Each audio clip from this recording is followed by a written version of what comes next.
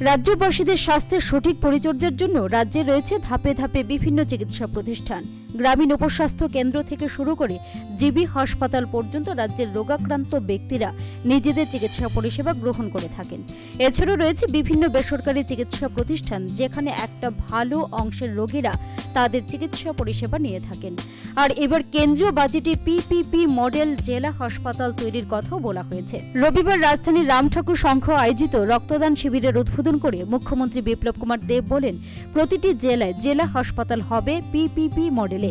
রাজ্য সরকার তার জন্য জমির বন্দোবস্ত করবে। বাকি বিষয় কেন্দ্র সরকার দেখবে। ডিস্ট্রিক্ট ওই ডিস্ট্রিক্টের ডিস্ট্রিক্ট হসপিটালের জন্য কেন্দ্র সরকার সহায়তা করবে। তো ধরাই তো ডিস্ট্রিক্ট সেখানে একটা কেন্দ্র সরকারের সহায়তা হসপিটাল আমরা তৈরি করব। আর তার সঙ্গে সঙ্গে বাজেটে এটাও ঘোষণা হয়েছে, প্রত্যেকটা ডিস্ট্রিক্টে রাজ্য সরকার জমিন দিয়ে দেওয়া ও রাজ্য সরকারের তরফ থেকে কিছু সহায়তা করা और পিপিপি মডেলে পাবলিক পার্টনারশিপ মডেলে যদি কেউ করতে চান ভারতবর্ষের প্রত্যেকটি ডিস্ট্রিক্টে কেন্দ্র সরকার তাতে সহায়তা করে বক্তব্য রাখতে গিয়ে মুখ্যমন্ত্রী এও বলেন পূর্ণ রাজ্য হবার পর রাজ্যে এই প্রথম একজন ম্যালেরিয়ায় আক্রান্ত হয়ে মৃত্যুর মুখে পতিত হয়েছে। তবে সরকার চায় একজনও যাতে অকালে ম্যালেরিয়ায় মৃত্যু মুখে পতিত না হয়। আসার পর তা বন্ধ হয়ে গেছে এমন নয়। কিন্তু এবার মাত্র ম্যালেরিয়াতে একজনের মৃত্যু হয়েছে। এই প্রথম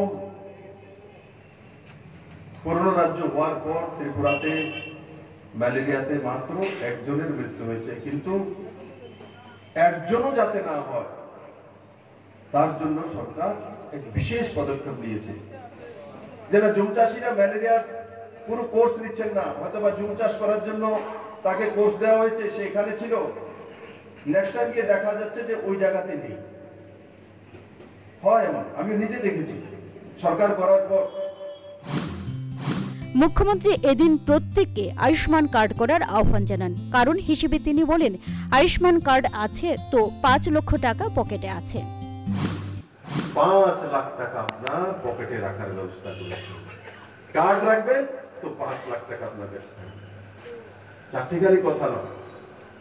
ছোট বিষয় নয়। আর সেই আয়ুষ্মান ভারত শুধু আপনার চিকিৎসার জন্য নয় হসপিটালগুলিকে মেনটেনেন্স করার জন্য বড় ব্যবস্থা? স্বাস্থ্য দপ্তর সিধা আমি দেখি এখন। তো আসে মেনটেনেন্স করার জন্য, জিবি হসপিটালের জন্য এত টাকা চাই, টিএমসির জন্য এত টাকা চাই বিএম এর জন্য এত টাকা চাই প্রাইমারি হেলথ সেন্টারের জন্য এত টাকা চাই। আর ব্লক হসপিটালের জন্য এত টাকা চাই, এগুলো আসে মেনটেনেন্সের জন্য। আয়ুষ্মান ভারতে তার ব্যবস্থা রয়েছে। যেমন টিএমসি তে গোল্ড বাটার স্টোন অপারেশন করলে ছ হাজার টাকা ওরা চার্জ সিক্স থাউজেন্ড এদিনকার রক্তদান শিবিরে মুখ্যমন্ত্রী ছাড়াও বিধানসভার অধ্যক্ষ রেবতী মোহন দাস, প্রাক্তন বিধায়ক গোপাল রায় সহ ক্লাব কর্মকর্তারা উপস্থিত ছিলেন। Bureau report, news vanguard